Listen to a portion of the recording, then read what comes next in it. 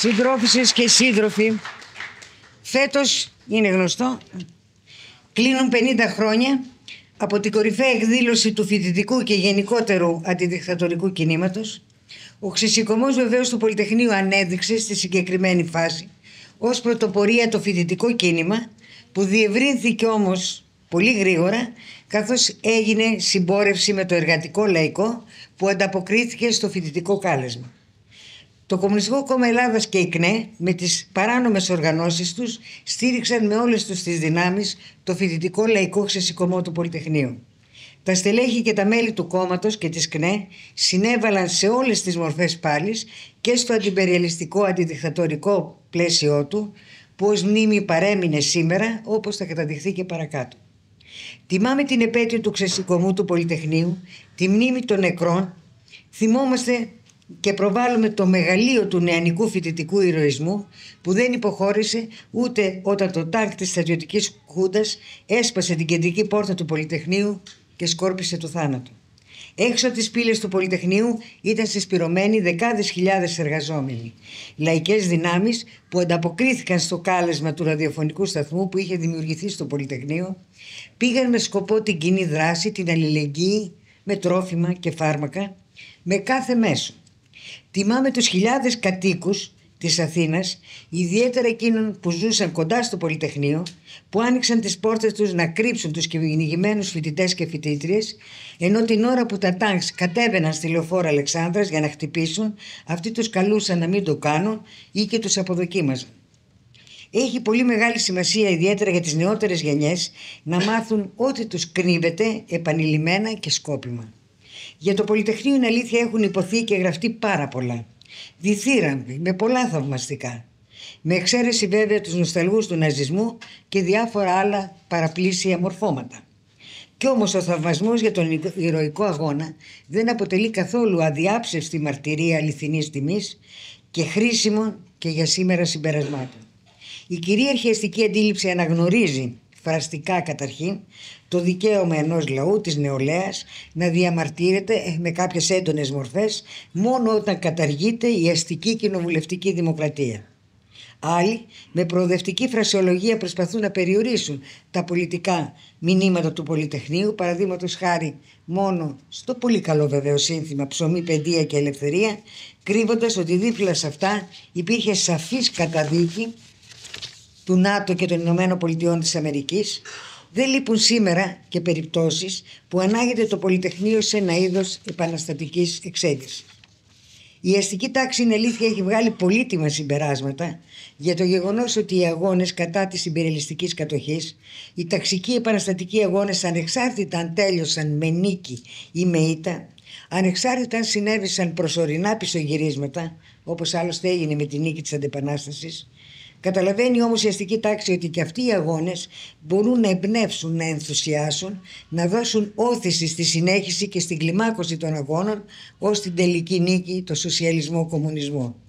Γι' αυτό και έχει εκπαιδεύσει η αστική τάξη τεράστια επιτελεία στα πανεπιστήμια, στην εκπαίδευση, στα μέσα μαζικής ενημέρωσης, ας τα πούμε ενημέρωσης, σε όλους τους τομείς της ζωής ώστε να ρίχνουν πέπλος σκότους, να οργανώνουν οργιώδη παραπληροφόρηση, να ψεκάζουν με σωρό ψέματα για να συκοφαντούν τη λαϊκή αγώνες ή στην καλύτερη για την αστική τάξη περίπτωση να οδηγούν σε ανώδυνα μονοπάτια. Αξίζει να θυμίσουμε το όργιο του ψεύδους και της συκοφαντίας, του αποπροσανατολισμού που ζούμε αυτές τις μέρες σε βάρος του Παλαιστινιακού αγώνα με ένα στόχο – να κρυφτεί ότι ο Παλαιστινιακός λαός ζει, πεινάει, υποφέρει, βασανίζεται και πεθαίνει εξαιτίας της μακρόχρονης Ισραηλινής στρατιωτικής, πολιτικής, οικονομικής κατοχής με τις πλάτες των Ηνωμένων Πολιτειών, του ΝΑΤΟ και της Ευρωπαϊκής Ένωσης ενώ του αρνούνται το δικαίωμα να έχει το δικό του κράτος. Με θράσο σήμερα είπα το ΝΑΤΟ και η Ευρωπαϊκή Ένωση και βεβαίως στην πρώτη γραμμή και η ελληνική κυβέρνηση έχουν αναγορεύσει το κράτος δολοφόνο του Ισραήλ σε κράτος που πρέπει τα εγκλήματά του να θεωρούνται ως δικαίωμα στην αυτοάμυνα. Γιατί χωρίς αυτήν τίθεν την αυτοάμυνα κινδυνεύει από ένα λαό που δεν έχει πατρίδα αν και εδώ και πολλά χρόνια από το 1947 και μετά Ω τα μέσα, αν θέλετε, της δεκαετίας του 80 υπάρχουν αποφάσεις και ψηφίσματα του Οργανισμού Ηνωμένων Εθνών που καταγγέλουν τους διωγμούς των Παλαιστινίων με επικισμούς, με στρατιωτικά μέσα. Ο δίκαιος αγώνας του Παλαιστινιακού λαού αποκαλείται τρομοκρατικός. Με επιμέρους διαφωνίες, το δικαίωμα στην αυτοάμυνα του κράτους βίας, κατοχής και δολοφονίας αναγνωρίζουν και τα άλλα ελληνικά κόμματα. Εμείς για άλλη μια φορά θα το πούμε δυνατά. Σε όλη την ιστορία της ανθρωπότητας ως σήμερα υπήρξαν και υπάρχουν δίκαιοι και άδικοι πόλεμοι. Άδικοι είναι οι υπεριαλιστικοί που δεν τους αποφασίζουν οι λαοί αλλά οι κυρίαρχες τάξεις στα πλαίσια του ανταγωνισμού των καπιταλιστικών κρατών μεταξύ τους για την πρωτοκαθεδρία, για τη λία, για το ξαναμοίρασμα εδαφών ακόμα και με αλλαγή συνόρων αν αυτό ωφελεί τους εμπορικούς δρόμους. Δίκαιοι πόλεμοι είναι αυτοί που διεξάγονται από τους λαούς για την απελευθέρωση των εδαφών τους από την ξενική κατοχή. Δίκαιοι είναι η ταξική πόλεμη, ο ταξικός επαναστατικός αγώνας για την οικοδόμηση ενός για την, για την πραγματοποίηση της νίκης και για την οικοδόμηση ενός νέου ανώτερου κοινωνικού συστήματος που στην εποχή του εμπειριαλιστικών πολέμων και του περάσματος από τον καπιταλισμό στο σοσιαλισμό είναι πάλι με όλες τις μορφές για την εργατική εξουσία τη σοσιαλιστική οικοδόμηση. Πριν μιλήσουμε για το ίδιο το Πολυτεχνείο, έχει μεγάλη σημασία γιατί επιβλήθηκε στην Ελλάδα η στρατιωτική δικτατορία. Πώς έγινε αυτό; Και μάλιστα αυτό νομίζουμε ότι πρέπει να ενδιαφέρουν τις νεότερες γενιές γιατί αυτό το στρατιωτικό πραξικόπημα έγινε σε μια περίοδο όπου στην Ευρώπη, την καπιταλιστική εννοούμε, υπήρχαν πραγματικά δύο προπολεμικές δικτατορίες. Στην Ισπανία και στην Πορτογαλία, αυτές όμως ήδη βρίσκονταν στις παραμονές της φθοράς τους. Το κόμμα μας έχει ουσιαστικές διαφωνίες με όλα τα άλλα κόμματα, αλλά και με ρεφορμιστικές οπορτουνιστικές απόψεις για το ποιοι ήταν οι παράγοντες, ποια ήταν τα αίτια που οδήγησαν στο να φτάσουμε στην 21η Απριλίου του 1967. Για το αν η δικτατορία παραδείγματος χάρη ήταν προϊόν κυρίως εξωτερικής επέμβασης ή αν ήταν πριν απ' όλα εσωτερικής φύσης. Είναι προκλητικές μάλιστα οι θέσεις της Νέας Δημοκρατίας, τις οποίες, αν δεν κάνω λάθος, τις διατηρεί μέχρι σήμερα, ότι τάχα η δικτατορία ήταν έργο κάποιων άφρονων αξιωματικών και εκεί σταματάει. Ποια είναι η δική μας θέση; Εμείς ξεκινάμε από το αιματηρό τρομοκρατικό αντικομουνιστικό καθεστώς που είχε επιβληθεί από το 1944, συγκεκριμένα από το Δεκέμβριο του 1944 και μετά, έως τη λήξη του τρίχρονου εμφύλου ταξικού πολέμου το 1949 και το οποίο διατηρήθηκε σε όλη την πενταετία, τη δεκαετία του 50 και του 60.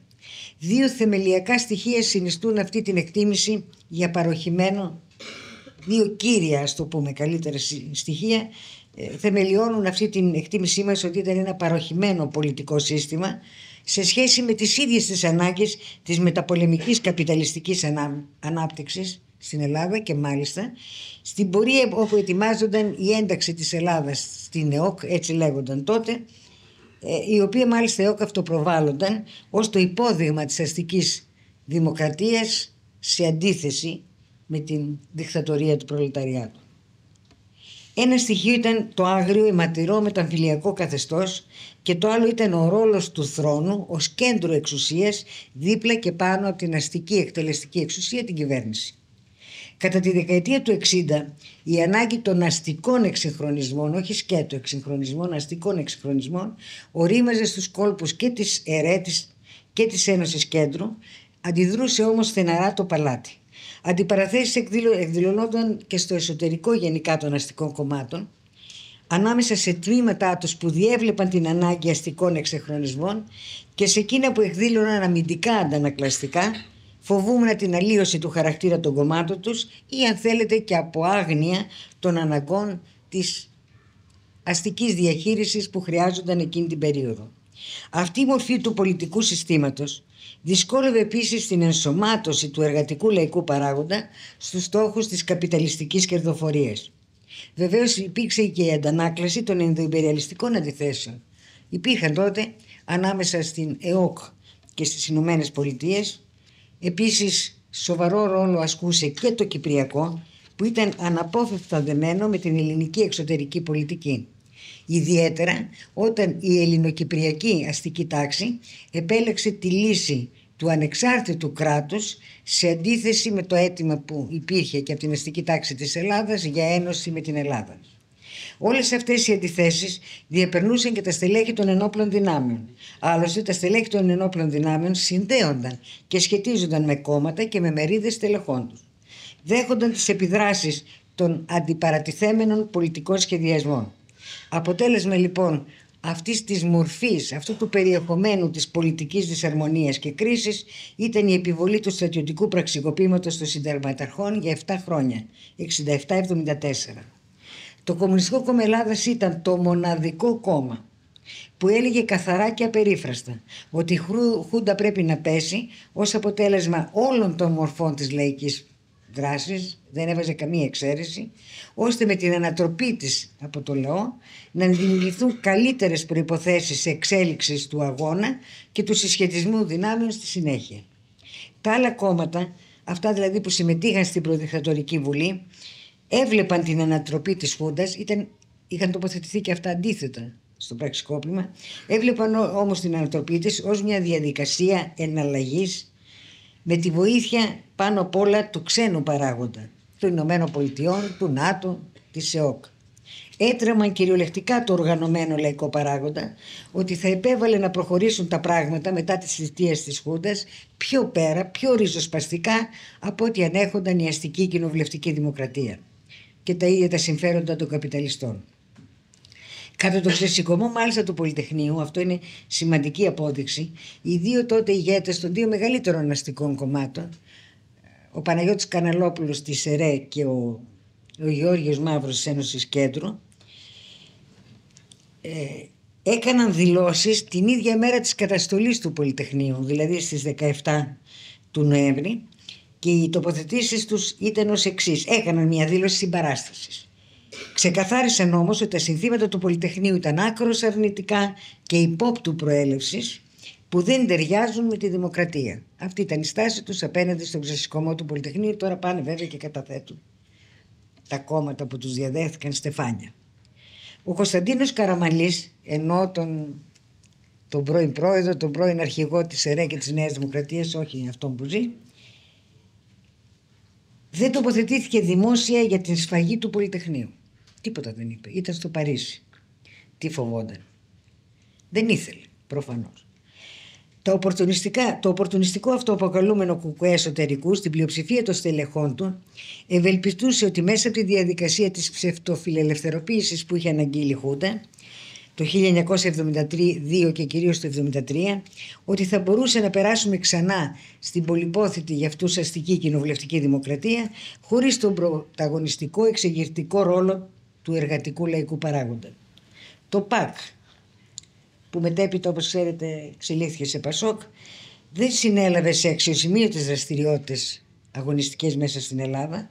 Κυρίως η παρουσία του ήταν στο εξωτερικό, με την αμέριστη μάλιστα βοήθεια της σοσιαλδημοκρατίας ιδιαίτερα της Σουηδικής, εξαπέλει εκ του ασφαλούς πυροτεχνήματα περί ένοπλου αγώνα.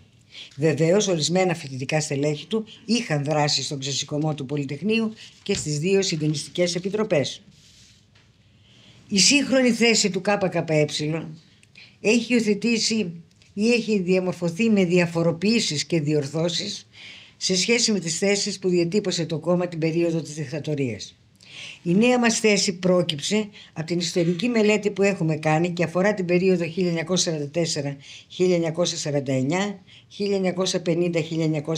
1950-1967 που περιέχεται στα δοκίμια που έχουν κυκλοφορήσει Β1, Β2, Γ1 και ολοκληρώνεται στο νέο δοκίμιο που θα κυκλοφορήσει ξέρω εγώ στις 25 του μήνα κάπου εκεί ε, το οποίο είναι γάμα 2 και αναφέρεται στην περίοδο 1967-1974 και επίσης θα ήδη βγήκε στη δημοσιότητα, δεν πρόλαβε να έρθει σήμερα εδώ, από Δευτέρα μάλλον, έχουμε προχωρήσει σε ειδική έκδοση για το Πολυτεχνείο που είναι πιο αναλυτική από ό,τι μπορούσε να συμπεριλάβει ένα δοκίμιο που αφορά ολόκληρη την επταετία.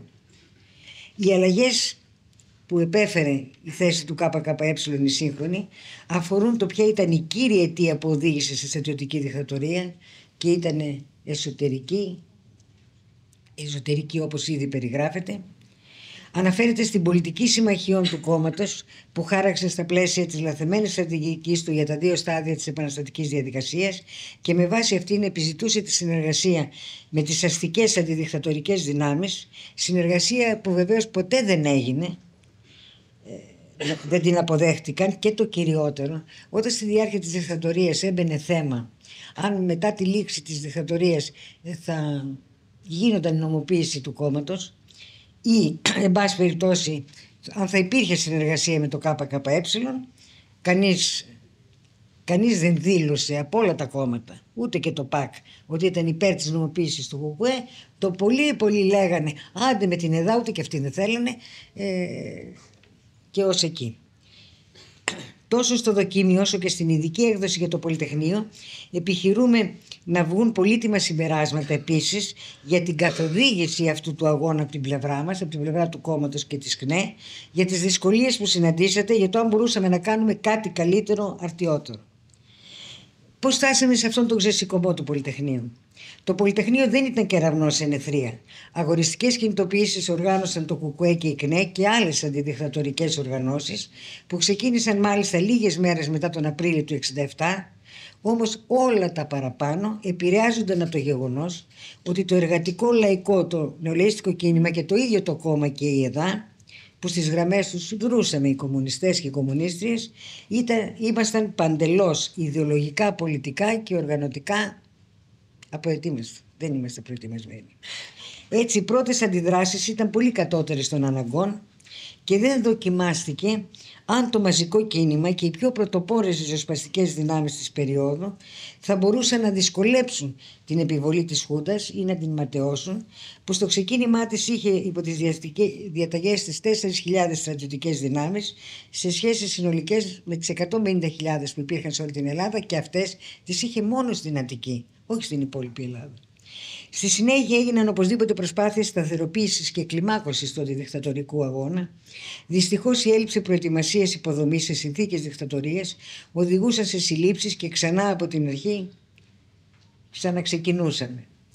Καλύτερη κλιμάκωση και σχετική μαζικοποίηση είχαν οι εργατικοί, φοιτητικοί, αγροτικοί και φοιτητικοί σπουδαστικοί αγώνες το 1972 και ιδιαίτερα το 1973. Τότε πραγματικά ξέσπασαν εργατικές, εργατοϊπαλληλικές κινητοποιήσεις, ορισμένες και στην Ήπεθρο, ασυντόνιστες όμως μεταξύ τους, που περιορίζονταν σε οικονομικά αιτήματα, παραδείγματος χάρη αιτήματα για αυξήσεις μισθών, συλλογικές συμβάσεις. Επίσης, έγιναν ορισμένες δυναμικές κινητοποιήσεις κατά της απαλωτρίωσης εκτάσεων γης που θα δίνονταν στα επιχειρηματικά συμφέροντα, παραδείγματος χάρη στη Mobile Oil κτλ. Το αντιδικτατορικό κίνημα πήρε σχετικά μεγαλύτερη όθηση όταν η Χούντα αποφάσισε προκειμένου να αμβλύνει την καταδίκη της μέσα στην Ελλάδα και διεθνώς να πουλήσει τους πολιτικούς κρατούμενους εξόριστους και στη συνέχεια και τους φυλακισμένους χωρίς βεβαίως να επιτρέπει την ελεύθερη δράση των κομμάτων. Οι απολυμμένοι πάντα σε συνθήκες παρανομίας, η συντριπτική τους πλειοψηφία ήταν κομμουνιστές και κομμουνίστριες, έμπειροι έμπειροι πολλά χρόνια, αυτοί συνέβαλαν πραγματικά στη μεγαλύτερη εμβέλεια και όθηση του αντιδικτατορικού αγώνα. Τι ήταν όμως το Πολυτεχνείο; Το Πολυτεχνείο ήταν φοιτητικός, εργατικός, λαϊκός ξεσηκωμός. Δεν συνιστούσε μια προγραμματισμένη με επεξεργασμένο πολιτικό πλαίσιο εξέγερση, καθώς δεν προέκυψε από κάποιο συγκεκριμένο σχεδιασμό προετοιμασίας από μια πολιτική ή αντιστασιακή οργάνωση είτε από περισσότερες. Άρα η κατάληψη, η κατάληψη ξεκίνησε με κυρίαρχο στοιχείο το αυθόρμητο. Βεβαίως όπως θα δείτε παρακάτω το αυθόρμητο συνιστά το ανεπαρκές συνειδητό. Δηλαδή δεν σημαίνει πως το Πολυτεχνείο ήταν η κατάληψη του Πολυτεχνείου ήταν ένα τυχαίο γεγονός που ξεπίδησε από το πουθενά και από το κενό. Είχαν προηγηθεί, όπως ήδη είπαμε, αγωνιστικά επεισόδια, όπως ήταν η κατάληψη της νομικής το Φλεβάριο του 1973 και άλλες εκδηλώσεις μέσα στο ίδιο το Πολυτεχνείο. Και το Σεπτέμβριο και Οκτώβριο γίνονταν κινητοποιήσει μέσα στο Πολυτεχνείο. Η διάχυτη φοιτητική αγανάκτηση υπήρχε και πατούσε στο γεγονός ότι ένα μεγάλο μέρος του λαού ήταν αντίθετο με τη στρατιωτική χούντα Έπαιξε επίσης έναν ορισμένο ρόλο και τα άλλα αστικά κόμματα ανεξαρτήτως της τάσης τους και της δράσης τους τάχθηκαν εναντίον με τις δικές τους αιτιάσεις εναντίον της δικτατορίας. Η κινητοποίηση της νομικής το Φλεβάρι του 1973 με τη μορφή της κατάληψης είχε αποφασιστεί και προετοιμαστεί από την Αντιεφέν που ιδρύθηκε με πρωτοβουλία της ΚΝΕ ώστε να αντιμετωπιστεί η χουντική ψευτοεφέ. Η κατάληψη της νομικής έδειξε, έληξε καθώς αποφασίστηκε ο απεγκλωβισμός και η μετατροπή σε μεγάλο συλλαλητήριο στο κέντρο της Αθήνας που βεβαίως κατέληξε σε συλλήψεις μελών στελεχών της ΚΝΕ και άλλων. Το ιδρυτικό συνέδριο της Αντιεφές σημειώστε έγινε παράνομα στην Αθήνα τον Ιούλιο του 1972. Διαμόρφωσε καταστατικές αρχές οργάνωσης, εξέλεξε Εθνικό Συμβούλιο και ψήφισε διακήρυξη που κυκλοφόρησε στην Αθήνα και στη Θεσσαλονίκη, στα Γιάννενα και στο εξωτερικό. Ω σκοπός της Αντιεφέ ορίζονταν η αναγνώριση της προσωπικότητας του σπουδαστή, στο συνδικαλιστικό πολιτικό ιδεολογικό χώρο και γενικότερα η αναγνώριση του δικαιώματος συμμετοχής στην κοινωνική και πνευματική ζωή του τόπου. Δεν έμενε βέβαια μόνο εκεί. Πρόσθετο σκοπό της οργάνωσης την πάλη του Ενωμένου Δημοκρατικού Σπουδαστικού Κόσμου για την κατάκτηση, για την κατοχήρωση, υπεράσπιση και επέκταση των συνδικαλιστικών και πολιτικών δικαιωμάτων περιλάμβανε την οργάνωση της πάλης κατά της δικτατορίας και η ΕΝΤΙΕΦΕ συσπήρωσε σε μια πορεία έναν αριθμό, σημαντικό αριθμό φοιτητών. Το σπουδαίο επίσης ήταν ότι δημιούργησε επιτροπές αγώνα κατά σχολή, εξέδιδε την εφημερίδα Πασπουδαστική ως όργανο της ΕΝΤΙΕΦΕ με αφετηρία κυκλοφορία το Σεπτέμβριο του 1972. Την ίδια χρονιά του 1972 ιδρύθηκε η ΜΟΔΝΕ, δηλαδή η μαθητική οργάνωση της Δημοκρατικής Νεολαίας με παραρτήματα στην Αθήνα, τη Θεσσαλονίκη, τη Λάρισα, τα Γιάννενα, στο Ηράκλειο, την Πάτρα, την Καλαμάτα, στα Χανιά και τη Λαμία. Από το 1971 ως 1972 κυρίαρχο φοιτητικό αίτημα ήταν η κατάργηση των διορισμένων διοικήσεων από τη στρατιωτική χούντα και οι ελεύθερες εκλογές του συλλόγους των φοιτητών, γεγονός που ανάταργασε τη δικτατορία να προσφύγει στο κόλπο, ε, σε ένα ελιγμό, να οργανώσει συγκεντρώσεις με θέματα προγράμματα σπουδών που όμως σε πολλές περιπτώσεις μετατράπηκαν σε φοιτητικές συνελεύσεις αντίθεσης με την πολιτική της Χούντας.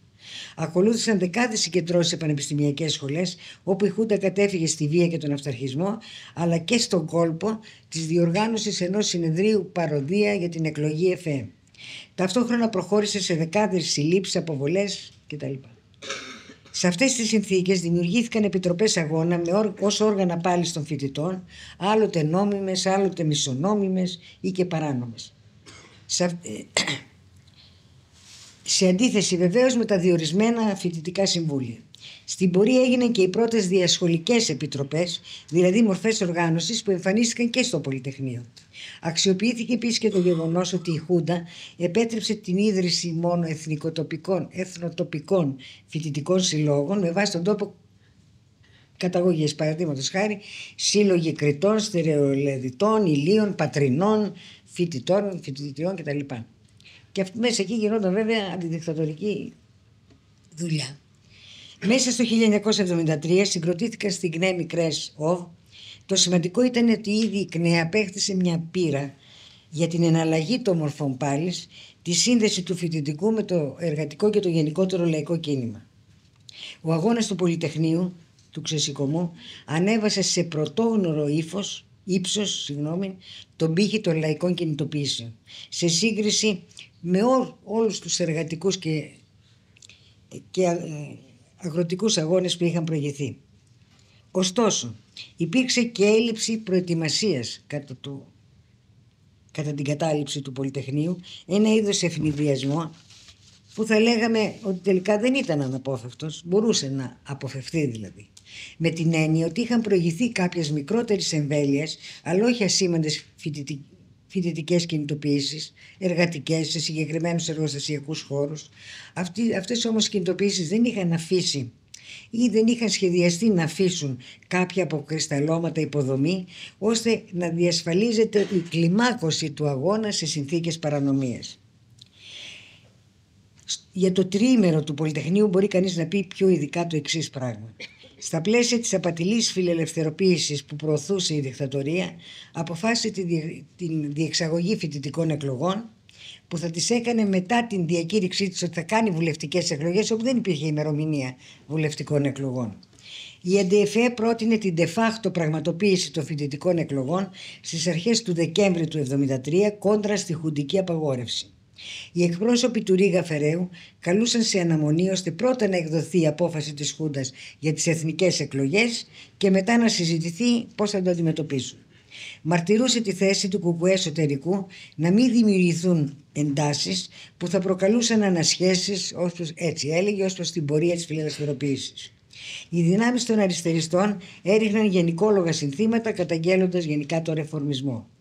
Τελικά μέσα στις γενικές συνελεύσεις που έγιναν αποφασίστηκε η μετατροπή των γενικών συνελεύσεων σε κατάληψη του Πολυτεχνείου. Το αυθόρμητο δηλαδή λειτουργήσε στον τρόπο που πρόκυψε η κατάληξη χωρίς να υπάρχει και λέμε αυθόρμητο γιατί δεν υπήρχε προηγούμενο επεξεργασία πολιτικού πλαισίου, σχεδιασμού, συντονισμού, χωρίς συμφωνία για τους όρους λειτουργίας του κέντρου οργάνωσης και καθοδήγησης του αγώνα. Γι' αυτό με το ξεκίνημα της κατάληψης ανάμεσα στις διαφορετικές φοιτητικές παρατάξεις εκφράστηκαν ταλαντεύσεις και διαφωνίες για το ποιο έπρεπε να είναι το πλαίσιο των αιτημάτων. Αν θα ήταν κύρια φοιτητικά αιτήματα ή θα έπρεπε να προσθεθούν και γενικότερα πολιτικά. Εδώ ξεχώρισε και η συμβολή του Κουκουέ και της ΚΝΕ όταν στοιχείο κλιμάκωσης του αγώνα έγινε η προσπάθεια ανάμεσα στα αντιδικτατορικά αιτήματα και φυσικά στα φοιτητικά να προωθηθούν και αντιπεριαλιστικά σχετικά με το ΝΑΤΟ και τη ΣΥΠΑ εκλέχθηκαν διαδοχικά δύο συντονιστικές επιτροπές. Πάλι δεν το θέμα των διαφωνιών και, και διαφορών των δυσκολιών του συντονισμού. Όμως παρά τις διαφωνίες τους αναγνωρίζουμε ότι κατάφεραν να αντιμετωπίσουν προβλήματα όπως ήταν τη σύντηση, της επιμελητίας, της επικοινωνίας. Η 15η Νοέμβρη ξεχώρισε καθώς εκφράστηκε η μαζική λαϊκή συμπαράσταση το μεσημέρι. Στην κινητοποίηση των εργαζομένων συνέβαλε αποφασιστικά η Κομματική Οργάνωση Αθήνας και η οργάνωση της ΚΝΕ με την αξιοποίηση των εκπομπών του σταθμού του Πολυτεχνείου και του ραδιοφωνικού σταθμού του κόμματος Η Φωνή της Αλήθειας. Το ξημέρωμα της Παρασκευής 16 Νοεμβρίου πραγματοποιήθηκε συνάντηση στελεχών της ΑΝΤΙΕΦΕ, του Ρίγα Φεραίου και του ΠΑΚ.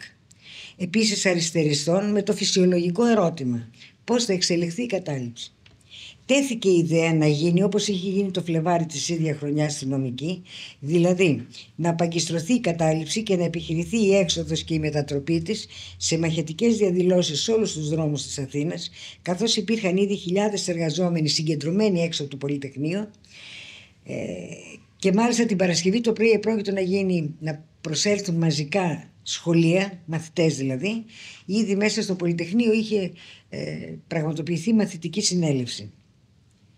Κατέφθαναν δες στο Πολυτεχνείο αγρότες από τα Μέγαρα και οι εργάτες από τα ναυπηγεία του Καραμακά, οι οποίοι είχαν πάει στο Υπουργείο, έβαλαν τα αιτήματά τους, το Υπουργείο τα πέριψε και αποφάσισαν όλοι μαζί στο Πολυτεχνείο, φέρνοντας και τρόφιμα και τα λοιπά, να συμπαρασταθούν στους φοιτητές. Η συντονιστική αποφάσισε να εκδώσει τότε μια διακήρυξη προκειμένου να δημοσιοποιήσει στο λαό το περιεχόμενο της ε, Της κατάληψης. Στη διακήρυξη εκφράζονταν το τότε επίπεδο οριμότητας του φοιτητικού κινήματος, αλλά να πούμε και την αλήθεια και σε ό,τι αφορά εμάς και οι δυναμίες της στρατηγικής του κόμματος, με την έννοια ότι έμπαινε ο στόχος της κατάληψης η πτώση της Χούντας και η αποκατάσταση της αστικής κοινοβουλευτικής δημοκρατίας με κάπως στολά συνθήματα περί λαϊκής κυριαρχίας και εθνικής ανεξαρτησίας. Αυτό το αίτημα αποτελούσε συμφωνία όλων. Παρ' αυτά συνεχίστηκε η διαπάλη για το βαθμό πολιτικοποίησης του αγώνα. Οι ΚΝΕ και η ΕΝΤΙΕΦΕ υποστήριζαν το σύνθημα έξω η Ελλάδα από το ΝΑΤΟ, το οποίο σημειώνουμε είχε γίνει αποδεκτό από τους χιλιάδες συγκεντρωμένους. Η Συντονιστική Επιτροπή ενημερώνονταν ακόμα και από τη σύγκλιτο των καθηγητών, αλλά και από τον πομπό της αστυνομίας ότι η κρατική δύναμη θα χτυπούσε. Η καθοδήγηση της ΚΝΕ έθεσε τότε το ζήτημα της απαγκίστρωσης από τη μορφή πάλης, εκτιμώντας ότι με βάση το σχετισμό δυνάμεων και την ετοιμότητα της Χούντας να χρησιμοποιήσει και τα όπλα, μπορούσε να μετατρέψει το Πολυτεχνείο από κέντρο του αντιδικτατορικού αγώνα σε παγίδα μαζικών συλλήψεων πρωτοπόρων αγωνιστών και ίσως σε εκατόμβι νεκρών. Το σχέδιο της απαγκίστρωσης περιελάμβανε τη μετατροπή της κατάληψης σε μαζικές διαδηλώσεις στους δρόμους της Αθήνας και με στόχο την παραπέρα κλιμάκωση του αντιδικτατορικού αγώνα. Όχι το κλείσιμο. Υπήρχαν προσδοκίες ότι αν η κατάληψη συνεχίζονταν θα έμπαιναν στον αγώνα ακόμα περισσότερες λαϊκές δυνάμεις ενώ στάση φρούδων ελπίδων καλλιεργούσε και η σύγκλητος του Πολυτεχνείου που πίστευε, δεν το έκανες επίτηδες, που πίστευε ότι το Σάββατο, δηλαδή στις 18 Νοέμβρη θα έδινε συνέντευξη τύπου ο Πρωθυπουργός, ο διορισμένος Πρωθυπουργός της κυβέρνησης, ο Μαρκεζίνης, και ότι τάχα εκεί θα μπορούσε αυτός κάτω από την πίεση της κατάληψης να κάνει ορισμένες υποχωρήσεις. Ε, αυτό καλλιεργούσε ορισμένες φρούδες ελπίδες. Υποτομούσε το γεγονός ότι υπήρχαν πληροφορίες για άμεση παρέμβαση του στρατού. Το θέμα ε, υπήρχε και μια άποψη περιορισμένη βέβαια ότι μπορούσε η κατάληψη να οδηγήσει σε επαναστατική κατάσταση. Το θέμα της απαγκίστρωσης και μεταξέλιξης δεν περνούσε λοιπόν ως προβληματισμό σε χιλιάδες νέους και άλλους συγκεντρωμένους που δεν είχαν την πείρα του οργανωμένου αγώνα. Αλλά έπαιξε οπωσδήποτε ρόλο η δυσκολία συνδέσμων ενημέρωσης, ώστε η απαγκίστρωση να γίνει συντεταγμένα και με τρόπο που θα βοηθούσε να χαλαρώσει ο αστυνομικός κλήρος αλλά και να κλιμακωθεί ο αγώνας. Άρα η απαγκίστρωση αντικειμενικά πια δεν μπορούσε να προχωρήσει και με την επιλογή της Χούτας να δώσει άμεσα και χωρίς καθυστέρηση ένα τέλος στη συγκεκριμένη μορφή πάλης. Και το, το χαρακτηριστικό και το θαυμαστό θα έλεγα, δεν το λέμε, με θαυμασμό το λέμε, όταν η Συντονιστική Επιτροπή ανακοίνωσε ότι δεν υπάρχει δυνατότητα εξόδου, όταν κάλεσε να παραμείνουν σταθεροί και να παραμείνει σταθερό και στεναρό το συγκεντρωμένο πλήθος, όλοι παρέμειναν στις θέσεις τους παρά τον κίνδυνο. Όλοι παρέμειναν. Οι έγκλειστοι μάλιστα λειτουργήσαν ω ελεύθεροι πολιορκημένοι. Τραγουδούσαν, φώναζαν συνθήματα, απευθύνονταν στους φαντάρους, ζητώντας να μην σηκώσουν τα όπλα. Η ανάταση που αναδείχθηκε εξέφραζε την αποφασιστικότητα των λαϊκών δυνάμεων, της εμπιστοσύνης που απέκτησαν στις δυνάμεις τους από τη συμμετοχή σε τέτοια μεγάλα γεγονότα. Μετά την κατάληψη του Πολυτεχνείου, μετά τη λήξη της κατάληψης, αναδείχτηκαν μονοήμερες εργατικές λαϊκές κινητοποιήσεις και σε άλλες πόλεις φοιτητικές στο Πανεπιστήμιο της Πάτρας, στη Θεσσαλονίκη και στα Γιάννη. Ορισμένα συμπεράσματα γενικότερα. Ο ξεσηκωμός του Πολυτεχνείου κατέληξε με την ήττα των εξεγερμένων, χώρια οι δεκάδες νεκροί και τραυματίες. Δεν ήταν δυνατόν όμως να αποτελέσει επαναστατική εξέγερση για να ανατρέψει τη δικτατορία τη συγκεκριμένη στιγμή και μάλιστα να οδηγήσει και στην ανατροπή της εξουσίας της κυρίαρχης τάξης. Όμως, το Πολυτεχνείο με την πανευρωπαϊκή και παγκόσμια απήχησή του συνέβαλε στην ακόμα ευρύτερη λαϊκή αγανάκτηση στη σχεδόν καθολική αντίθεση με τη δικτατορία. Συνέβαλε να αποκαλυφθεί η εξαπάτηση του λαού από τη Χούντα με την καραμέλα της φιλελευθεροποίησης που έλεγε η Χούντα ότι θα κάνω εκλογές και θα επαναφέρω τη Βουλή ή έλεγε ότι ε, θα καταρρι... ναι, την κατάργηση της Βασιλείας και έλεγε ακόμα ότι θα μεταφέρω ε, υπερεξουσίες που έχει ο πρόεδρος της Δημοκρατίας θα τις μεταφέρω στη Βουλή. Αυτά ήταν έπε απτερόιδα ας πούμε της Χούντας. Ε, την, ε, την, ε, πώς να πω, την ξεμασκάρεψε τη φιλελευθεροποίηση το Πολυτεχνείο. Ο, ο ξεσηκωμός του Πολυτεχνείου όξινε τις αντιθέσεις μέσα στη Χούντα. Έγινε πιο οξία η κρίση που υπέβοσκε στους κόλπους της, επιτάχυνε την κατάρρευσή της βέβαια σε συνδυασμό και με το έγκλημα που διαπράχθηκε στην Κύπρο. Σε καμιά περίπτωση δεν καταγράφεται ιστορικά ως αγώνας που ιτήθηκε – άρα ήταν αχρίαστος ή και επιζήμιος. Αστεί επικροτές του ξεσηκωμού του Πολυτεχνείου, οι συνήθεις πανικόβλητοι μπροστά στο λαϊκό αγωνιστικό ρεύμα, βάζουν και το ερώτημα μήπως τελικά το Πολυτεχνείο, ε, πέρα από το ότι καταπνίγηκε, οδήγησε στην ανατροπή του Γιώργιου Παπαδόπουλου σε μια περίοδο που είχε εξαγγείλει τη φιλελευθεροποίηση και έφερε τη διαδοχή του Ιωαννίδη που προσωπικά πήρε την πρωτοβουλία για το πραξικόπημα στην Κύπρο σε βάρος του Πρόεδρου Μακαρίου. Καταρχήν το Κυπριακό εξ αρχής ήταν ζήτημα που η Χούντα των Συνταγματαρχών είχε στον προσανατολισμό της και υπήρχαν διαφωνίες μεταξύ τους έτσι κι αλλιώς. Δεν τις προκάλεσε το Πολυτεχνείο. Από την πρώτη στιγμή υπήρχαν λοιπόν διαφωνίες και, και απέναντι στο Γιώργο Παπαδόπουλο και υπήρχε, προϋπήρχε σχεδιασμός ανατροπής του. Α δούμε όμως ορισμένα, κλείνοντας, ορισμένα πολύτιμα συμπεράσματα για μας, για το κόμμα και την ΚΝΕ, που έχουν αξία και σήμερα, χωρίς να σημαίνουμε, η ιστορία δεν επαναλαμβάνεται με τον ίδιο τρόπο. Το κόμμα είχε αποδείξει ότι μελετώντας με την απόσταση του χρόνου μεγάλα ιστορικά γεγονότα, δεν έκρυψε ποτέ προβλήματα και αδυναμίες.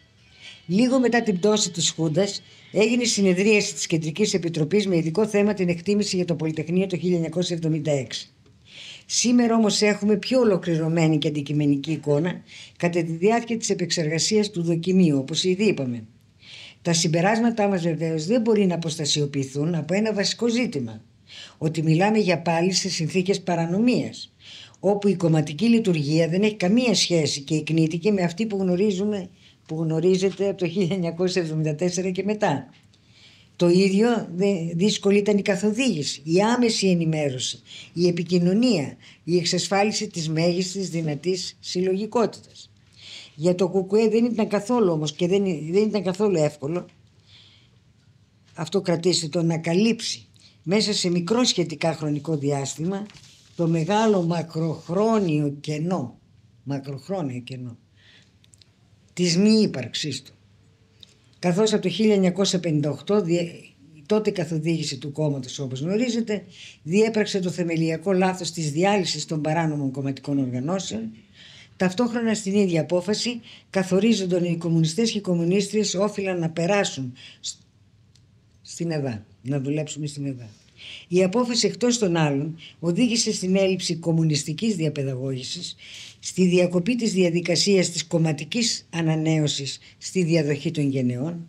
Ανάλογο ήταν το πρόβλημα με την ΚΝΕ, που η ύπαρξη και η λειτουργία της είχε καταργηθεί ακόμα πιο πριν, στα χρόνια της κατοχής, μετά την απόφαση ίδρυσης της ηρωικής ΕΠΟΝ το Φλεβάρι του 1943. Το Κουγέ πέρα από το ότι βρέθηκε ιδεολογικά, πολιτικά και από άποψη υποδομής απροετοίμαστο την 21η Απριλίου να αντιμετωπίσει τη στρατιωτική χούντα, από τις πρώτες ώρες στερήθηκε χιλιάδες έμπειρους κομμουνιστές και κομμουνίστριες που ήταν έμπειροι από τα χρόνια του Μεσοπολέμου, της κατοχής και του Δημοκρατικού στρατών, καθώς πιάστηκαν στον ύπνο, κοιμόντουσαν δηλαδή στάθηκαν στην εξορία ή όσοι δεν συνελήφθησαν έπρεπε να λύσουν προβλήματα που και πώς θα ζήσουν περιφρουρημένοι ώστε να δράσουν σε συνθήκες παρανομίας.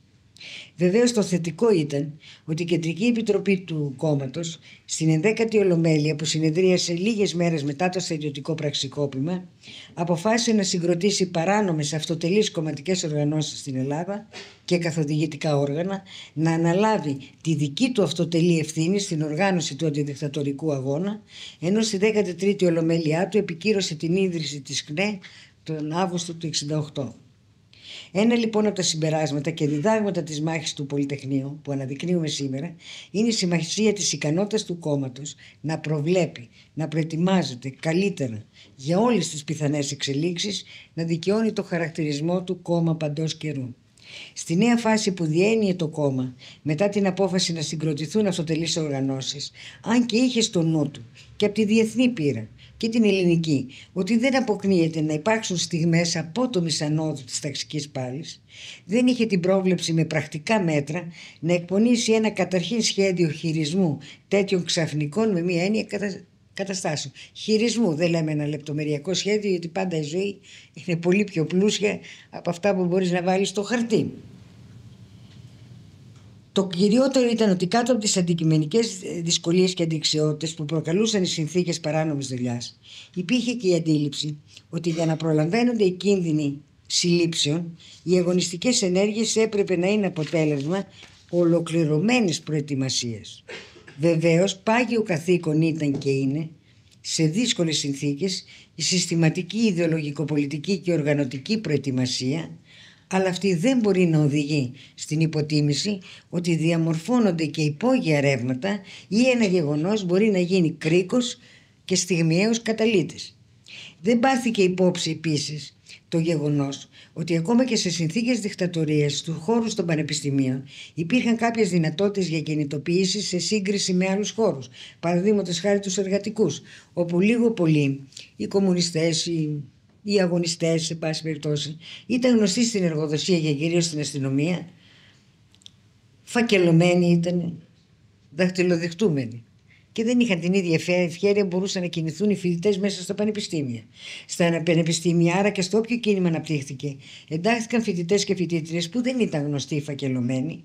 Αυτό διευκολύνονταν καθώς συγκεντρώνονταν χιλιάδες νέοι και νέες σε κάθε κτηριακό ίδρυμα, άρα ήταν αυξημένη η δυνατότητα να διεισδύσει η παράνομη δουλειά, ακόμη και η δυνατότητα μεγαλύτερης ελευθερίας κινήσεων, άλλωστε αυτό αποδείχθηκε. Υπήρχαν προβλήματα συλλογικότητας στις συνθήκες της παρανομίας που δεν λύθηκαν από το κλιμάκιο της Κεντρικής Επιτροπής και το γραφείο της Κομματικής Οργάνωσης Αθήνας και δυσκόλευαν τη δράση. Οι δυνάμεις, παραδείγματος χάρη της ΚΝΕ μέσα στο Πολυτεχνείο, δυσκολεύονταν να συντονιστούν. Άρα και να είχαν ενιαία αντίληψη για το πλαίσιο συσπήρωσης, για το πώς συνδέονταν τα φοιτητικά ε, ε, αιτήματα με τα γενικότερα πολιτικά, με την πάλη για την ανατροπή της Χούντας με τα κατάλληλα συνθήματα, ώστε και να ριζοσπαστικοποιείται η νεανική συνείδηση, αλλά και να μην αγνοείται πλήρως το επίπεδο ρημότητας. Να πάρθει επίσης υπόψη ότι οι λόγοι περιφρούρησης της δουλειάς επέβαλαν να μην είναι όλα τα μέλη της ΚΝΕ γνωστά μεταξύ τους και η επαφή γίνονταν με διάμεσου. Τελικά βεβαίως, λέμε όλες αυτές τις αδυναμίες, τα μέλη της ΚΝΕ και της ΑΝΤΕΦΕ συνέβαλαν να κυριαρχήσουν και τα σωστά συνθήματα και στην οργάνωση του αγώνα. Ένα άλλο σοβαρό θέμα αποτελούσε η συλλογικότητα στις συνθήκες βαθιάς παρανομίας, καθώς δεν μπορούσε να λειτουργεί με τον ίδιο τρόπο και την ίδια απαιτητικότητα των συνθήκων νόμιμης λειτουργίας. Παρόλα αυτά, έπρεπε να γίνονται άοπνες προσπάθειες για την περιφρούρηση των διαδικασιών της συλλογικότητας και ταυτόχρονα στο όνομα της συλλογικότητας να μην παραμερίζεται η αξία της ατομικής πρωτοβουλίας. Στις συνθήκες της δικτατορίας, ο συνδυασμός της παράνομης και της νόμιμης δουλειάς έχει ιδιαίτερες απαιτήσεις. Δεν υπάρχουν αδιέξοδα. Ώστε μπορούν να υπάρχουν και τα δυο, δηλαδή και η περιφρούρηση και το άπλωμα της δουλειάς της μάζας. Γιατί το θέμα δεν είναι στο όνομα της περιφρούρησης να μείνουμε εμείς και εμείς, αλλά ούτε και το άπλωμα στις μάζες χωρίς στοιχειώδεις κανόνες περιφρούρησης. Ανεξάρτητα στι παραπάνω εκτιμήσεις, το αναφυσβήτητο γεγονός ήταν ότι το ΚΚΕ στήριξε με όλες τις δυνάμεις του τον ξεσηκωμό, βρέθηκε μαζί με την ΚΝΕ στο κέντρο των εξελίξεων και έπαιξε βασικό ρόλο πολλές φορές καθοριστικά, ε, καθοριστικά καθοδηγητικό. Θα μπορούσε και σε τέτοιες σκληρές συνθήκες Απλώς λέμε να υπήρχε καλύτερη προετοιμασία από όλες τις πλευρές ώστε να μην εμφανίζονται τα προβλήματα και συνέπειες ενός είδους ευνηδιασμού. Βεβαίως δεν το είπα αλλά νομίζω το, το ενόησε. Ήταν σημαντικό ότι το κόμμα το Φλεβάρι του 68 ε, στη 12η Ολομέλεια είχε απολαγεί από τον ακραίο οπορτουνισμό που υπήρχε στο πολιτικό γραφείο και στην Κεντρική Επιτροπή και έτσι προχώρησαν οι αποφάσεις του για αυτόνομες κομματικές οργανώσεις γιατί στην 11η Ολομέλεια που αυτοί δεν είχαν φύγει το ψήφισαν μεν αλλά το υπέσκαπταν δε γιατί ο νους τους ήταν να μεταξελιχθεί το Γουγκουέ ή και να αυτοδιέλθει. Τελειώνω λέγοντας ότι με την ευκαιρία της σημερινής συζήτησης θέλουμε να σταθούμε σε μια συγκοφαντική επίθεση που έχει δεχθεί το κόμμα μας, ότι τάχα εκτίμησε το γεγονότο του Πολυτεχνείου ως έργο προβοκατόρων. Τέτοια εκτίμηση δεν είχε ποτέ ούτε το κόμμα ούτε η ΚΝΕ. Όπως φάνηκε για τη στάση τους του κόμματος και της ΚΝΕ στο τρίμερο. Υπήρχε μια βεβαίως μάλιστα ανακοίνωση, εκτίμηση της δεύτερης συντονιστικής επιτροπής, λίγους μήνες μετά την πτώση της Χούντας, που την υπέγραφαν και τα 27 μέλη που ανήκαν σε όλο το πολιτικό φάσμα και σε αυτήν αναφέρονταν και σωστά ότι το φοιτητικό κίνημα κατάφερε να επαγρυπνά και να παρεμποδίζει τα όποια προβοκατόρικα σχέδια της Χούντας μέσα στο Πολυτεχνείο. Η συκοφαντία που εξαπολύθηκε κατά του Κουκουέ και της ΚΝΕ στήθηκε με αφορμή ένα δημοσίευμα στο 8ο φύλλο της Μασπουδαστική το Φλεβάρι του 1974, τη εφημερίδα δηλαδή της Αντιφέ, που ο βασικός της στόχος ήταν να διαδώσει το πολιτικό μήνυμα του Πολυτεχνείου. Ταυτόχρονα στην έκδοση αυτή δημοσιεύτηκε μια αναφορά για 350 προβοκάτορες στο Πολυτεχνείο με βάση μια έκθεση που είχαν κάνει στελέχη της Χούντας η Ρουφογάλης και Καραγιανόπουλος. Βεβαίως για τη δημοσίευση αυτής της έκθεσης έπρεπε να υπάρχουν στοιχεία. Ήταν κάπου, δεν υπήρχαν συγκεκριμένα στοιχεία ε, και με αυτή την έννοια δεν μπορεί κανείς να θεωρηθεί ότι ήταν και αξιόπιστη όταν δεν έχει στοιχεία. Δεν έπρεπε να δημοσιευτεί. Η αλήθεια όμως ήταν ότι οι χαφιέδες που δούσαν, υπήρχαν χαφιέδες μέσα στο Πολυτεχνείο και θα ήταν περίεργο να μην υπήρχαν δηλαδή. Στη Χούντα. Εδώ υπάρχουν στην αστική κοινοβουλευτική δημοκρατία, σιγά υπάρχουν στη Χούντα. Αυτοί όμως δεν καθόρισαν τις εξελίξεις. Δεν έπαιξε κανένα ρόλο στις εξελίξεις και μάλιστα αντιμετωπίζονταν μέσα στα πανεπιστήμια όλοι αυτοί οι περίεργοι που εμφανίστηκαν. Δεν έπαιξαν κανένα ρόλο. Δηλαδή δεν έκαναν, δεν δημιούργησαν μια προβοκάτσια που την αξιοποίησαν οι φοιτητές, δεν μπόρεσαν να παίξουν κανένα ρόλο. Αλλά λέμε δεν υπήρχε κανένας προβοκάτορας στο Πολυτεχνείο, είναι και υπερβολή. Αυτή η δημοσίευση βεβαίως δεν έπρεπε να γίνει. Παρ' όλα αυτά δεν προκλήθηκε με στόχο να αλλάξει την εκτίμηση της πανσπουδαστικής για το χαρακτήρα και τη σημασία του ξεσηκωμού του Πολυτεχνείου. Και να το πούμε για άλλη μια φορά κλείνοντας, αυτό που καθόρισε τον ξεσηκωμό ήταν η αντίδραση των φοιτητών, η εγανάκτηση και η έξαρσή της που υπήρξε σε όλο τον λαό και έτσι δεν πέρασε και δεν εμποδόθηκε κανένα σχέδιο προβοκάτσιας. Ευχαριστώ.